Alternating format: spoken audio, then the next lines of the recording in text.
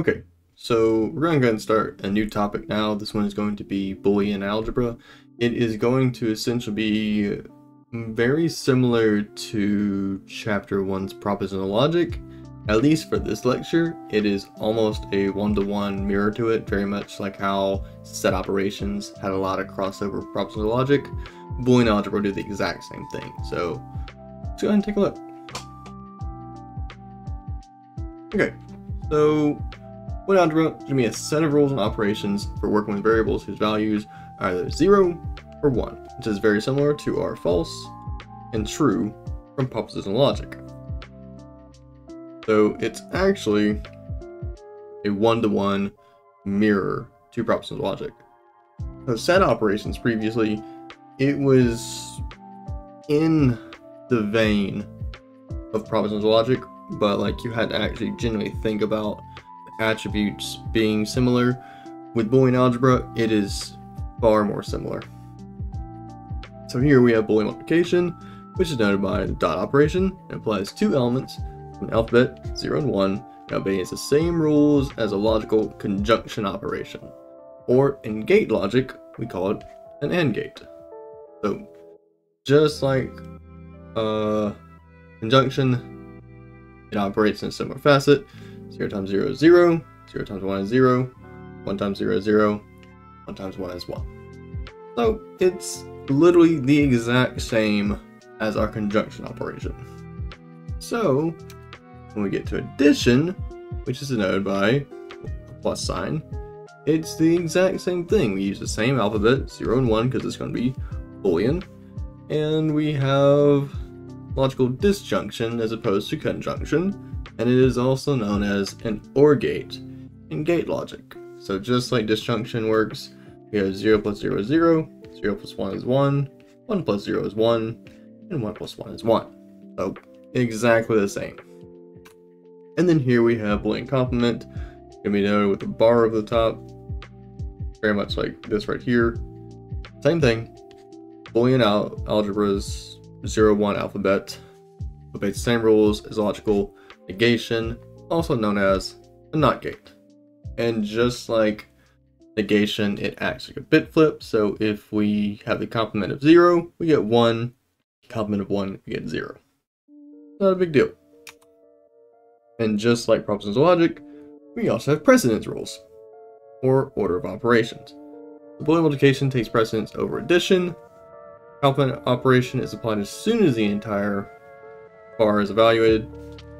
Then parentheses can be used to override the precedence rules as well. And again, this is the exact same thing as propositional logic. We just have different notations, names, and that's pretty much it. Now, it is not going to have things like conditional statements or biconditional statements. We can do XOR and a lot of other different things, but for the time being, we're just going to look at and, not, or. So, if we look here, we have two different examples. Precedence rules, we have x times y plus 1 times the complement of z, where x equals y equals z equals 1. Basically, all of our variables are 1, which means we have 1 times 1, 1. We have the complement of 1, which will be 0. Then we have multiplication here, so we do 1 times 0, which means 0. And finally, we have 1 plus 0's addition, leaving us with a 1. Meanwhile, on the right side, we have x plus z times the complement of 0 plus y, x equals 0, y equals 1, and z equals 1. So here we have 0 plus 1 because it's in parentheses first. So that's going to be 1. We get the complement of that 1, gives us 0. Uh, 0 times anything is 0. And we know that x is 0. So 0 plus 0 is going to be 0. It's not too bad. And then here we have what is known as an input-output table.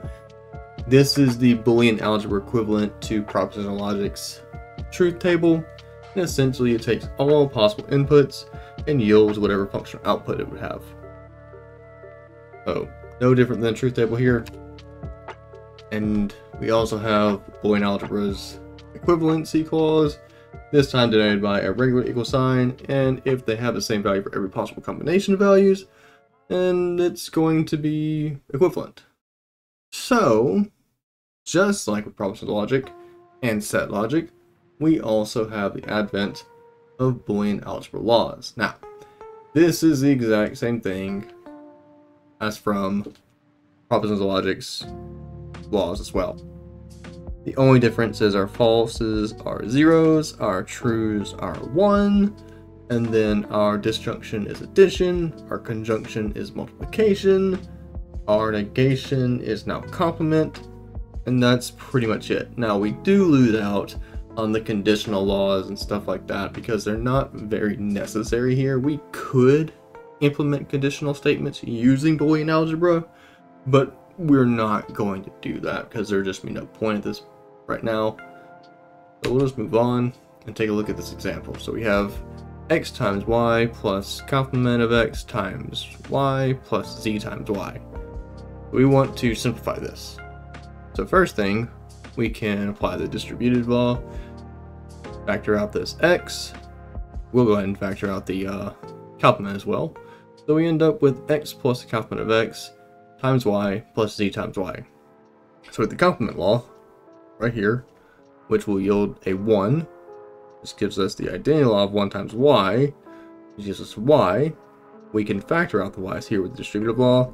We end up with 1 plus z times y. 1 plus anything is 1, based on the domination law. And then 1 times y is going to be y, based on the identity law. So, we just have a y that's pretty much it. And just to wrap this up, I'll show the equivalency from Boolean algebra operations to set operations. So multiplication is going to be the exact same thing as intersection. Addition, exact same thing as union. Complement is set complement. One is going to be the whole set of A, then zero is the empty set.